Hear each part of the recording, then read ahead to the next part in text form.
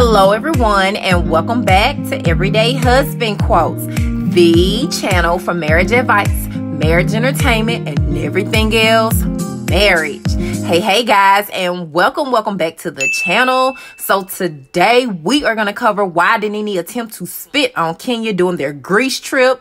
This time on The Real Housewives of Atlanta.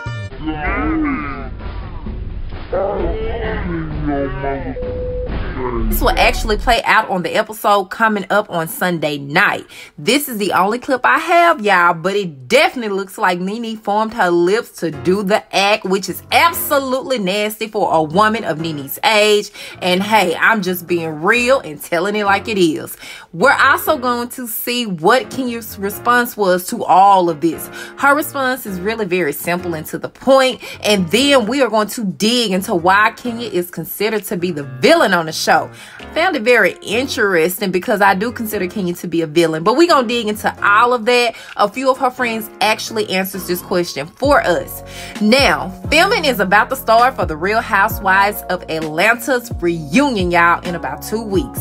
Kenya Moore is already opening up to Sirius XM to say that her and Marc are good. She doesn't speak on their divorce or whether they are getting back together, but she does say that their divorce has really taken a turn.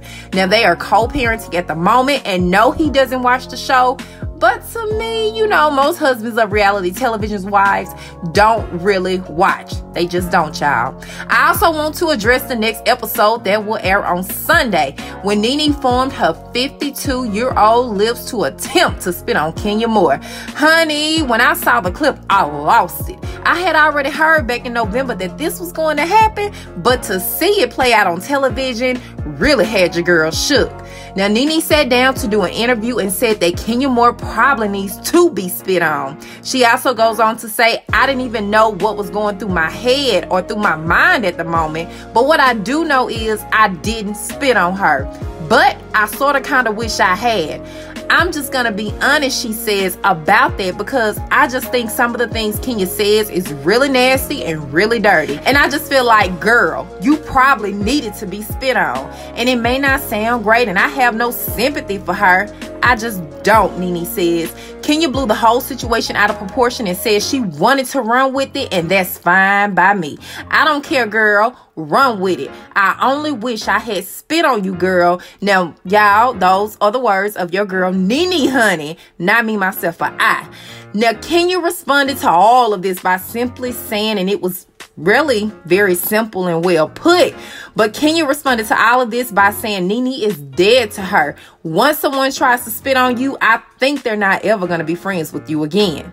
So, yeah, on top of all of that, everyone likes to label Kenya as the villain. And here is what her friends are saying about Kenya being the villain. I've heard you say um, through other people who've told me that Kenya's really different off camera she's gonna hate that I say this because, I mean, let's just say, Kenya's a villain on the show, and she loves it. She does it very well. Yeah. But Kenya is such a sweet girl. I went into preterm labor, 31 weeks pregnant, and Oof. the baby tried to come literally every single week, which is one of the times you saw on the show. Right. And Kenya would call me, not on camera, not when people saw, but she would call me and check on me more than anyone besides from Cynthia. Yeah, and then he tell the woman that it's over. And the point is, he knew he was a damn married man when he walked out the door that day. Mm, when he, he went to this woman's house. So he, she, he needs, she need to talk to him or whatever and stuff like that. But I can kind of tell you was something going on with him I, he was cheating or he had some other kind of secret life. Because when a man treat a woman that way and be that mean and yes. dirty to him, he got approval. He let the other woman look how I treat her ass. Yep. I don't care about yep. you. You know, so you can't tell me, honey. I knew that.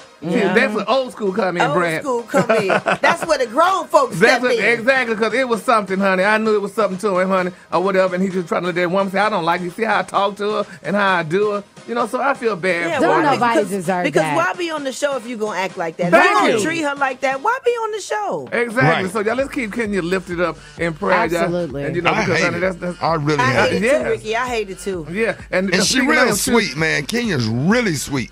She yeah. really is. She's, She's nicer than people know because she plays this villain on TV, but she is a genuine person. She's a she sweetheart is. and does not deserve this. And now this is gonna wrap up this video. Let me know what you guys think about all of this. I'm gonna tune in Sunday. You know, I've already kind of prepared myself, but I'm really interested to hear what people have to say once they watch the episode on Sunday. So let me know what you guys think in the comment section. As always, thank you guys for watching. I really appreciate it, and I will talk to you guys in the next video. Bye.